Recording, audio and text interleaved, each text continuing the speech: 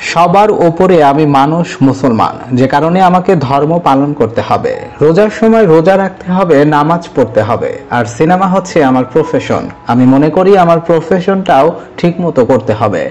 সবকিছু বিবেচনা করে আমি ট্রাই করি আমার ব্যক্তি জীবন, পেশা জীবন সবখানেই ভালো করতে। সম্প্রতি এক সাক্ষাৎকারে কথাগুলো বলছিলেন এই সময়ের বাংলা চলচ্চিত্রের সুপারস্টার সাকিব খান।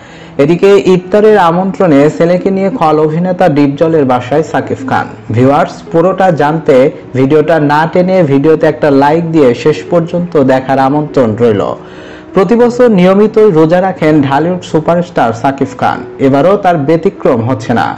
অন্যান্য বছর রোজা রেখে ক্যামেরার সামনে দাঁড়াতেন তিনি। দিনরাত কাজ করতে হতো ঈদের আগে, কারণ ঈদের সিনেমার বাজার অনেকটা একাই সামলাতেন তিনি। ঈদে সাকিব খানের সিনেমা মানে ছিল বিশেষ কিছু, কিন্তু এবছর করোনার কারণে বদলে গেছে পরিস্থিতি। ফলে সাকিব ধর্মে আরও বেশি মনোযোগ দিয়েছেন বলে রাইজিং বিডিকে জানান তিনি। অন্যদিকে ডিপজলের ইফতারের সুনাম এলাকার মানুষের মুখে মুখে ফেরে। কেননা প্রতি বছর প্রতিবেশী এবং এলাকার দুস্থদের জন্য সারা মাস জুড়ে ইফতারের ব্যবস্থা করেন বাংলা সিনেমার এই খলনায়ক। তবে এবার করোনার জন্য এলাকায় ঘটা করে ইফতারের আয়োজন না হলেও বাড়িতে পরিবার নিয়ে ইফতার করছেন ডিপজল। জানা গেছে, ইফতারের এই আয়োজন বেশ জাঁকজমকপূর্ণ। বিকাল হতে না হতে শুরু হয় এর প্রস্তুতি। পেঁয়াজু, বেগুনি, ছোলা, চপ এবং মাংসের তৈরি কাবাব সহ নানা মুখরোচক খাবারে ভরে ওঠে প্লেট। এর সঙ্গে থাকে বিভিন্ন আইটেমের শরবত, ফল এবং আলাদা জলখাবার। সম্প্রতি জানা যায়, ইফতারে পরিবারের সবার উপস্থিতি কামনা করেন ডিপজল।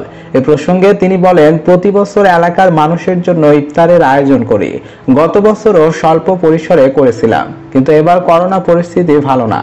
যে কারণে বাসায় সবাই মিলে যতটুকু করা যায় করছে। তাছাড়া এলাকার পরিচিত অনেকেই আমার সঙ্গে নিয়মিত ইফতার করেন, আর এতে আমার ভালো লাগে। মনোয়ার হোসেন ডিপজলের ধর্মের প্রতি অনুরাগ সবারই জানা। প্রতি বছর বিশ্ব ইস্তামায় আগত ধর্মপ্রাণ মানুষদের বিনা খরচে বাড়ি পৌঁছে দেন তিনি। অসংখ্য ব্যবসা সহ সিনেমায় খল চরিত্রে অভিনয় করে বাংলা চলচ্চিত্রে ব্যাপক পরিচিতি লাভ করেছেন ডিপজল। প্রিয় দর্শক, এ পর্যায়ে একটি কথা না বললেই নয়, এই চ্যানেলটির সমস্ত ভিডিও শুধুমাত্র বিনোদনের জন্য। চ্যানেলটির অনেক ভিডিওতে রূপক অর্থে অনেক সময় জনপ্রিয় নায়ক, নায়িকা, শিল্পী ও কলাকৌশলীদের নাম ও ছবি ব্যবহার করা হয়েছে যা শুধুমাত্র বিনোদনের জন্য। তাই দয়া করে ভিডিওটি বিনোদন হিসেবেই গ্রহণ করবেন। ধন্যবাদ।